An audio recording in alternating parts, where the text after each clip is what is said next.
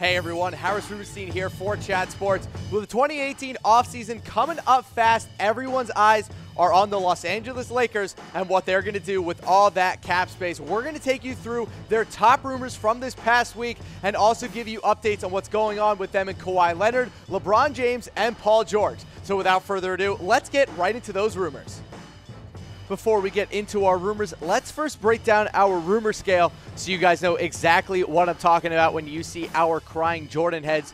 Zero crying Jordans, it's the Mutombo finger wag. Get that stuff out of here. It is fake news. One crying Jordan head, it's a small shred of truth, about a 25% chance that this could happen. Two crying Jordans, people are talking. Give it a 50 50 percent chance that this one will go down. Three crying Jordans, it's pretty likely, about a 75% chance of truth. And then four crying Jordans, bang. This is a 100% fact. This is happening. Let's get into our first rumor. Is Kawhi Leonard coming to the Lakers in 2019, not 2018, as so many people have thought of for this offseason, thinking that the Lakers might make a trade for Kawhi. We're going to give this one two crying Jordan heads. People are talking. So this is coming from Bleacher Report saying that the Lakers, quote unquote, know that they can sign Kawhi in 2019. Rumors that the Lakers are shifting their plans to the 2019 free agency class in order to bring in Kawhi Leonard, who, mind you,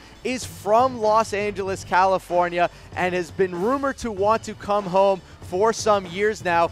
Now, that doesn't mean that they aren't going to sign one of LeBron James or, or Paul George. They still could very well pick up one of those guys, but as of right now, the Lakers could be shifting their attention to 2019 in order to pick up Kawhi Leonard. But we were talking about Paul George and LeBron James, so let's break down the two of them. Is LeBron James going to come to the Lakers? We have a little bit of an update for you guys on this field. We're going to give this one three crying Jordan heads. This one coming from the Orange County Register, not the biggest newspaper in the world, but still a reputable one, saying that LeBron James holds the Lakers as a heavy favorite to be his next team. The team has the cap space to sign two max level free agents so they could bring in LeBron along with Paul George. They could bring in LeBron along with DeMarcus Cousins. They could use that max level slot to instead sign some other good bench guys or a couple other starters. Now, we do also know that Paul George may also follow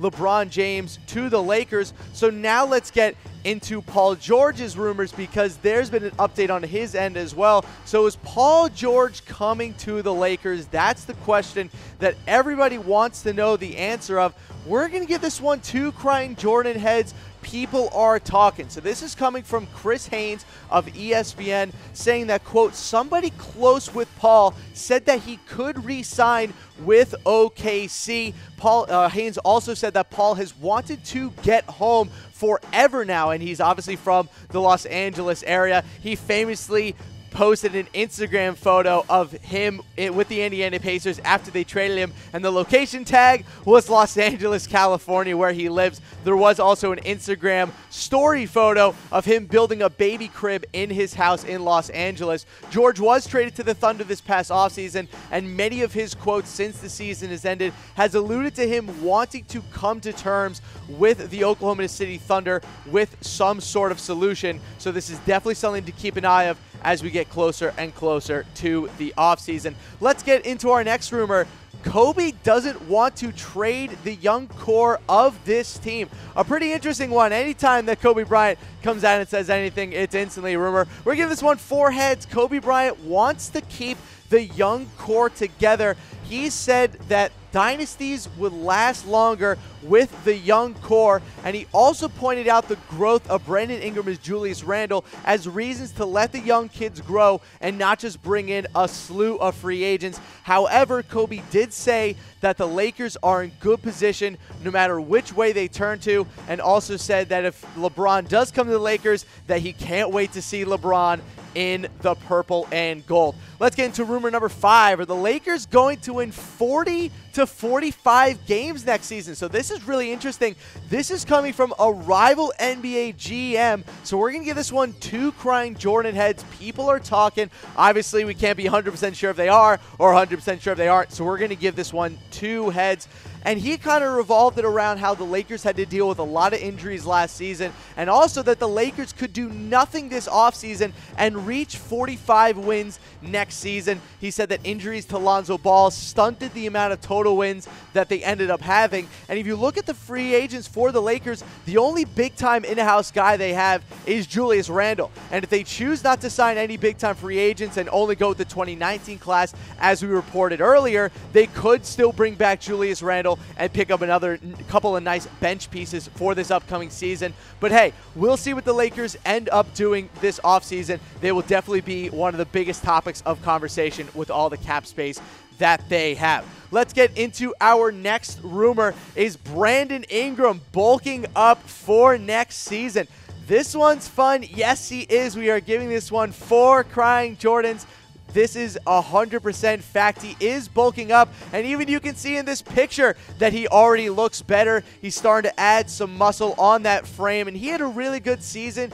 He increased his scoring output from 9.4 points per game to 16.1 points per game in 2017. He looked like a much more efficient overall offensive threat, though he did deal with some injury issues this season. He definitely looked like he took another jump. He is working also with Victor Oladipo's trainer, and we saw Victor Oladipo take a massive jump this year, and he will probably end up being the most improved player from the NBA this season. And Brandon Ingram is also heading back to Duke for his offseason workouts. So good luck to you, Brandon Ingram. We can't wait to see what you end up looking like when you come back next season. All right, let's get into rumor number seven. Are the Lakers working out some late first guys?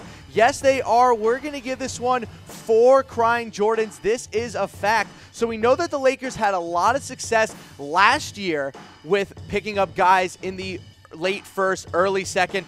Obviously, they picked up someone like a Kyle Kuzma and a Josh Hart last year. This play this year, they're looking at players like Shake Milton out of LSU and DJ Hogg out of Texas A&M. The Lakers own picks number 25 and number 47 overall, so they are looking to make a couple late round picks in order to get a couple more guys on the end of the bench. Whether or not they find another Kyle Kuzma remains to be seen, but they are definitely looking to make an impact at the end of the first round. All right, let's get to our next rumor. Is Kyle Kuzma already working out?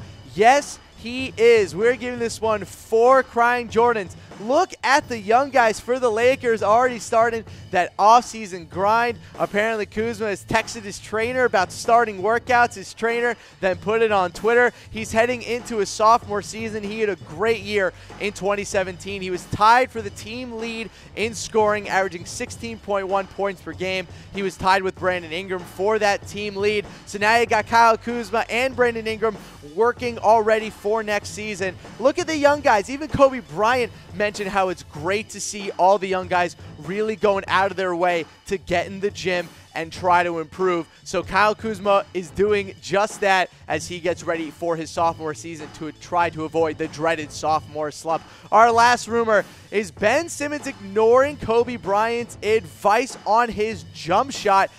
Another one that's four heads. He is absolutely ignoring Kobe Bryant's advice.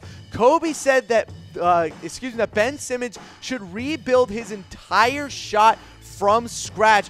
Brandon, uh, excuse me, Ben Simmons came out and just plain on said, no, I'm not going to change my whole shot, just going to change a couple minor things.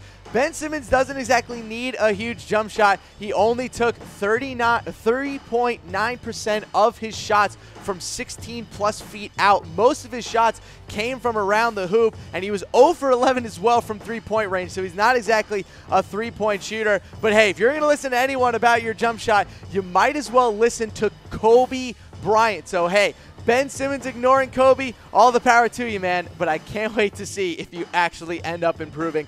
That's going to do it for our Lakers Rumors Roundup of the day. That's going to do for me today. Remember to subscribe to Chat Sports on YouTube so you can get an alert whenever we have a new video for you. You can follow me on Twitter at Sportstein for all your NBA news and updates. But for now, we'll see ya.